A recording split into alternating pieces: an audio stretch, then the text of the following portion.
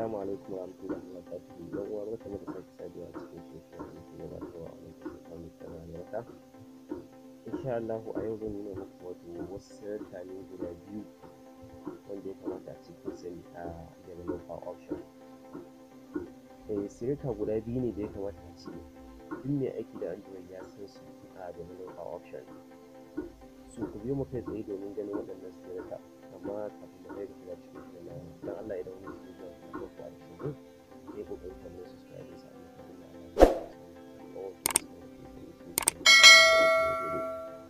mu shiga cikin shirin kai tsaye.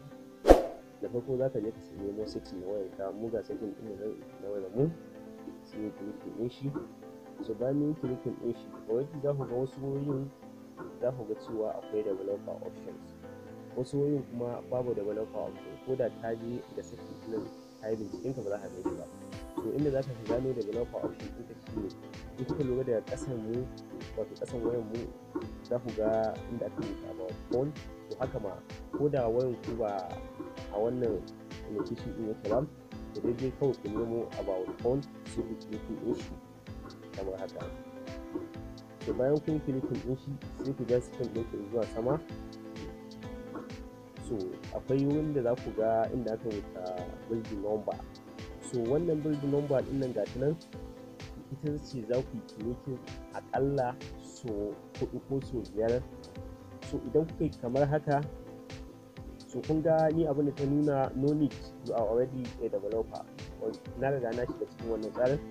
So idan ku san bai nuna maku wannan developer option din ba so haka za ku yi typing din wannan wato wannan bin number ɗin nan akalla su uku a lokaci guda.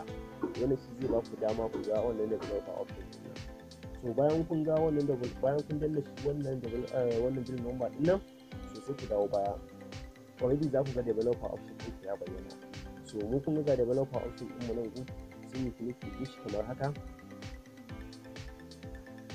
So bayan mun clicking din shi kamar haka sai kan da nake so sanar da ku shine na farko wannan shine stay awake nan shi wannan stay awake nan tsarin ne da yake baka dama ko kuma ke ba wayar ka dama a lokacin da kake caji screen ɗinta ba za ya ɗauke kwata ba.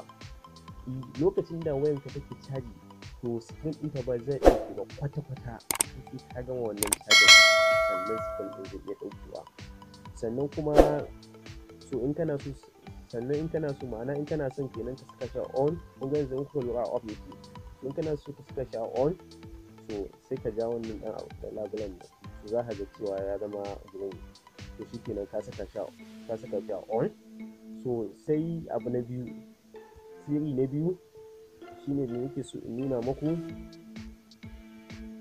Mu mu gani. Ok. Sirri na biyu shine ga yanan.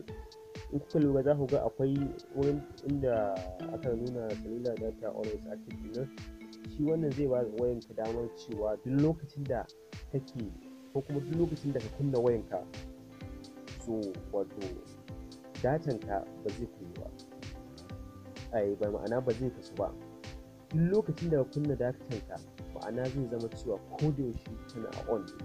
Saboda ko da ka kunne ko da ka kulle datan naka automatically zai buɗe. Saboda ka wasu ma za ka ga suna fuskantar zai iya ba san an sa musu ma wannan abin da salula data always active ɗin nan ba.